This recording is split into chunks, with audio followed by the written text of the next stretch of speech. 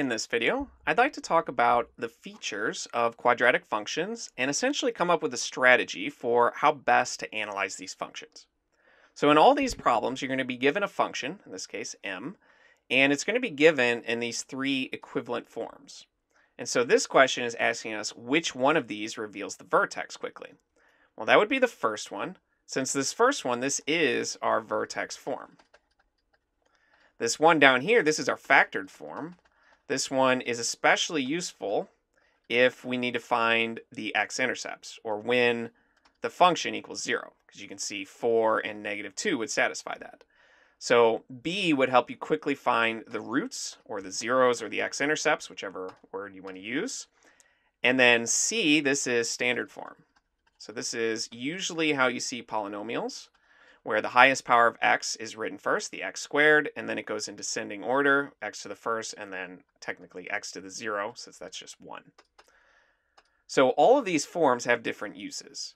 The vertex form, obviously, will give us the vertex very quickly. In fact, in this case, our vertex is the x value that makes this expression zero. So it'd be 1 in this case, because if you put in 1 here, this all goes away and it's just 0. And then the y value is negative 36. So when we put the 1 in there, we get negative 36 as our y value. So that's our vertex. We can just plug that in here, 1 minus 36. And again, if we were asked for the roots or the zeros or the x-intercepts, we'd use B. And C generally comes up if we want to know the y-intercept or if we want to use the quadratic formula. So just as an example, if we want to know the y-intercept, that's when x is 0. So you just plug in 0 for everything these terms go away and you just get whatever the constant is at the end. So they all have different uses. They are all equivalent, and it really just depends the scenario.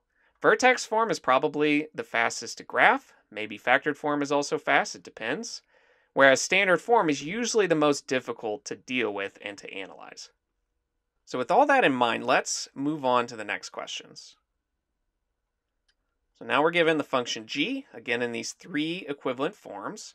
And we need to know which of these forms reveals the zeros or the roots of the function. So remember the zeros, that's when the function is equal to zero.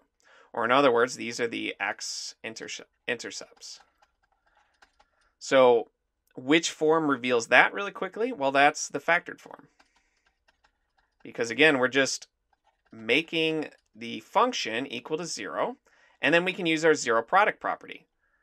You can see that an x value of 12 would make this 0. 0 times anything is 0. Likewise, 4 would make that 0. So you can put either 4 or 12 into the box here, because they just want one of the zeros. Now, if they wanted the y-intercept, we'd use b, because you just plug in 0, and the y-intercept is at 24. And if they wanted the vertex, we'd use c, since the vertex is at 8, comma, minus 8. So let's keep going with these. Now we have a function f, again in these three equivalent forms, and we need to know what is the y-intercept. So the most useful form for that, like I mentioned above, is standard form. Since the y-intercept, that's when the x value is 0. So all you have to do is plug in 0 into the function and figure out what the y value is. And you could do that in any of these. It's not too tedious, but the easiest one is to put it into A since when you plug in 0, the first term, you'd have 3 times 0 squared plus 36 times 0 plus 33. Well, 0 times anything is 0. So those go away. And you get a y value of 33, or a function value when x is 0 of 33. So x is 0 and y is 33 for this one. And in summary, it really just depends the situation for which form you want to use. Like I mentioned above, if you want to graph it, probably vertex form or factored form. But if you want to quickly find a y-intercept, standard form is going to be the one or the best form for that. So it depends the scenario, but all three forms can be useful. So knowing how to go from one to the other is an especially relevant skill to have.